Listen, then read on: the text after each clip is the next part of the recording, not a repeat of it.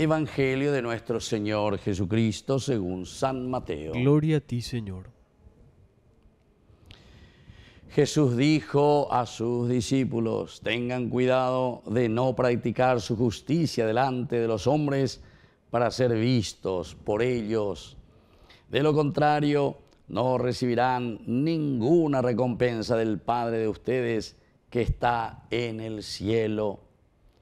Por lo tanto, cuando des limosna, no vayas pregonando delante de ti como hacen los hipócritas en las sinagogas y en las calles, para ser honrados por los hombres. Les aseguro que ellos ya tienen su recompensa. Cuando tú des limosna, que tu mano izquierda ignore lo que hace la derecha, para que tu limosna quede en secreto, y tu Padre que ve en lo secreto te recompensará. Cuando ustedes oren, no hagan como los hipócritas. A ellos les gusta orar de pie en las sinagogas y en las esquinas de las calles para ser vistos por los hombres. Les aseguro que ellos ya tienen su recompensa. Tú, en cambio, cuando ores, retírate a tu habitación, cierra la puerta y ora a tu Padre que está en lo secreto. Y tu Padre que ve en lo secreto te recompensará. Cuando ustedes ayunen, no pongan cara triste como hacen los hipócritas, que desfiguran su rostro para que los hombres noten que ayunan. Les aseguro que con esto ya han recibido su recompensa. Tú, en cambio, cuando ayunes, perfuma tu cabeza y lava tu rostro, para que tu ayuno no sea conocido por los hombres, sino por tu Padre que está en lo secreto. Y tu Padre que ve en lo secreto te recompensará. Palabra del Señor. Gloria a ti, Señor Jesús. Queridos hermanos, hoy, con este miércoles de ceniza, iniciamos nuestro camino cuaresmal. Es importante que entremos en sintonía, ¿verdad?, de lo que significa verdaderamente la cuaresma. Comenzamos con este miércoles de ceniza y terminamos con el miércoles santo, es decir, en la Semana Santa, el día miércoles, concluimos nuestro tiempo cuaresmal. Después comenzamos ciertamente el trido pascual, jueves, viernes, sábado santo, con la resurrección, la misa de gloria. Bueno, queridos amigos, y durante todo este tiempo el Señor nos invitará a la verdadera conversión. La primera lectura, como ustedes escucharon, que es justamente del profeta Joel, nos está llamando a una verdadera conversión. Vuelvan a mí de todo corazón, con ayuno, llantos y lamentos. Desgarren su corazón y no sus vestiduras. Vuelvan al Señor su Dios, porque Él es bondadoso y compasivo, lento para la ira y rico en amor, y se arrepiente de sus amenazas. Entonces, queridos amigos, este es el primer mensaje, ¿verdad? Durante todo este tiempo de cuaresma el Señor verdaderamente nos llama a una conversión. Hoy potalle yike. Nos da, es como decir que le decimos tiempo refere, tiempo refere, tiempo ñande yara, me mi siga tu se lleva a practicar guri.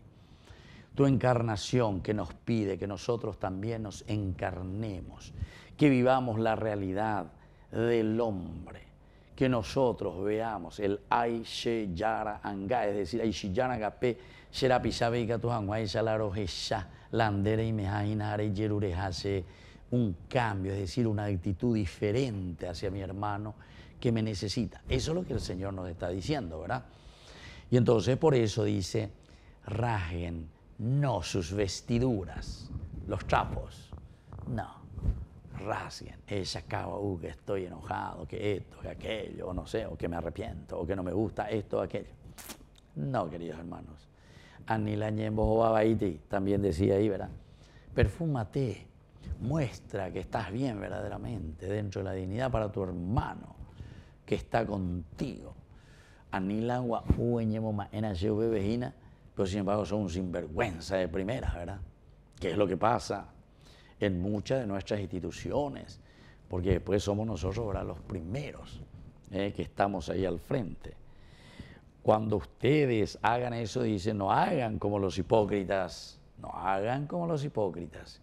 Y aquí te va poniendo algunos elementos importantes, ¿verdad? Primero, el hecho de la limosna.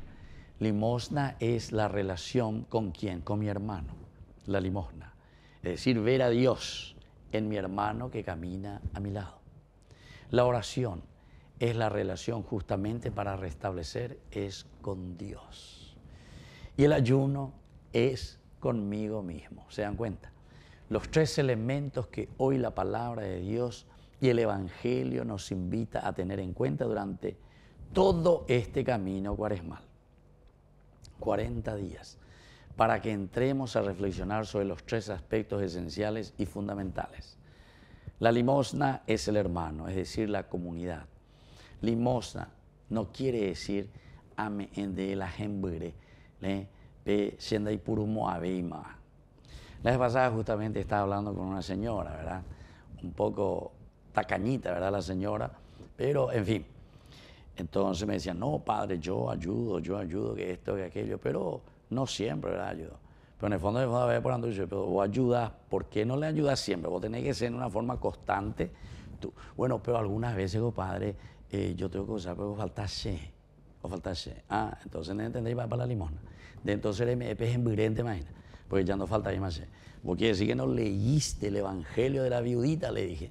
Bueno, por decir, hay ciertos elementos que tenemos que entender qué significa la limosna. Pero la limosna tampoco quiere decir solamente el dinero, la plata.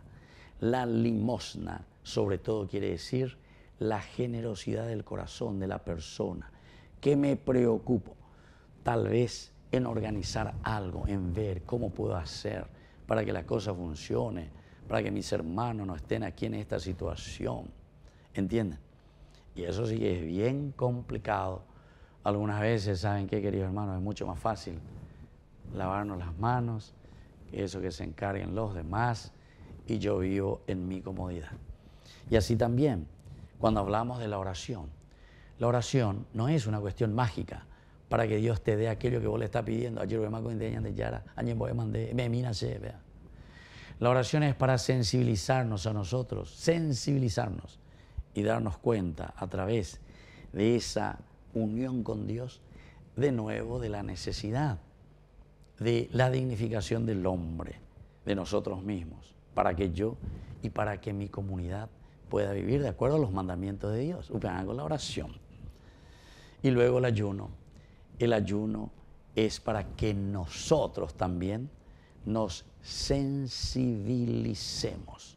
Es decir, la austeridad conmigo mismo para que yo pueda entender la necesidad siempre de mi comunidad. O sea, yo soy el que entra en acción hacia los demás. Es el estar siempre despiertos. ¿Entienden, queridos hermanos?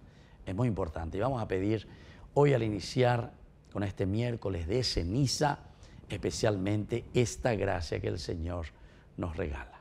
Que así sea. Que así sea.